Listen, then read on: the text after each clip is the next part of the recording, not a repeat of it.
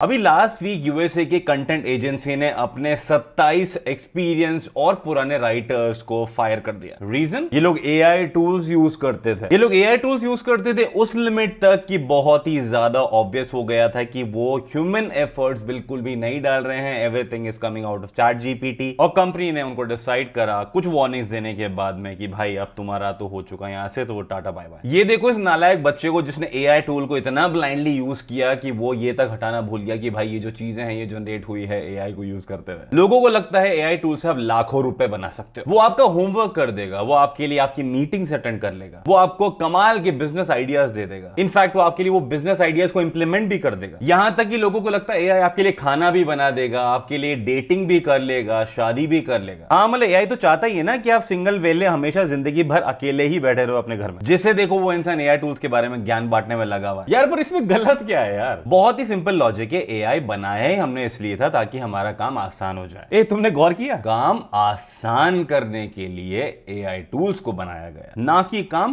करने के लिए। तू समझा? हाँ। नहीं तू समझा नहीं।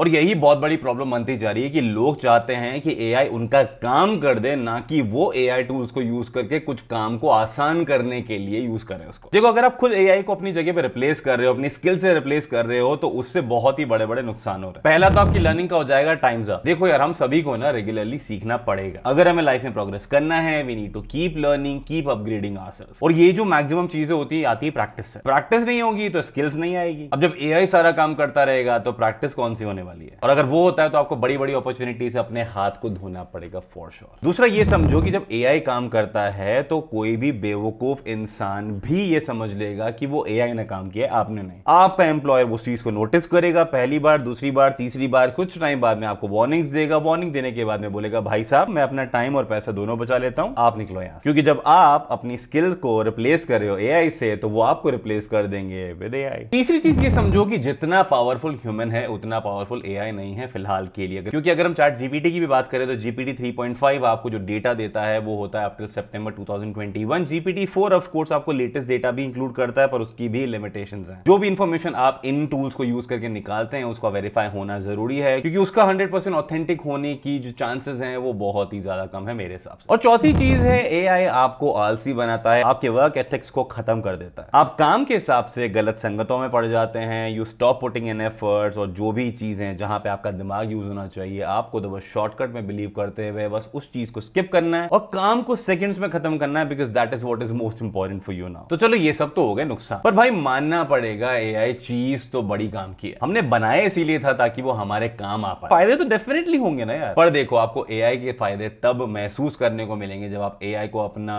दुश्मन या नौकर नहीं अपना दोस्त बना के साथ में लेके चलोगे। It is not A I versus us या ए आई और us it is A I plus us और सबसे बेस्ट तरीके जो एआई टूल्स को यूज़ करने के लिए हैं, वो होंगे। Use it to collect information edit करो वेरीफाई करो, उसके बाद में फाइनली प्रिपेयर करो। एआई को एक्स्ट्रा आइडियाज़ ऐड करने के लिए यूज़ करो, ना कि ओनली आइडियाज़ क्रिएट करने के लिए। यानी कि पूरा पूरा डिपेंड ना होते हुए अपने खुद के हिसाब से पहले आइडियाज़ प्रिपेयर करो, उसके बाद में एआई को यूज़ करो and then see what changes you would actually want to make number three make sure you know कैसे उसको कंट्रोल करना है। Don't let AI tool control you आप अपने हिसाब से उसको यूज़ कीजिए। जिस एडवांटेज में यूज़ करना चाहते हैं just make sure it is adding value to whatever you actually have to number four a आपके लिए डेफिनेटली एक अमेजिंग बूस्टर हो सकता है आपके रिज़ल्ट के लिए प्रोडक्टिविटी के लिए, और ज़्यादा पैसा कमाने के लिए. तो मेरे हिसाब से it is always a wise decision कि आप इसको एज अ बूस्टर यूज़ करो, ना कि आज सम्मान जो पूरा का पूरा काम आपको करके दे रहा है विच इज़ एब्सोल्युटली क्रैप और पांचवा, भाई, अपने रीजन खुद ढूंढो इस चीज़ को यूज़ करने के लिए, क्योंकि फ़ायदे अनेक हैं, नुकसान भी अनेक हैं. आपको डिसाइड करना है कि आपको इस चीज़ को अपने फ़ायदे के लिए यूज़ करना है या फिर अपने नुकसान के लिए। एंड हैविंग सेड दैट मैं यही बोलना चाहूँगा AI tools are definitely here for a decade काफ़ी अमेजिंग मस्त मस्त और टूल्स आने वाले हैं जो आपकी ज़िंदगी को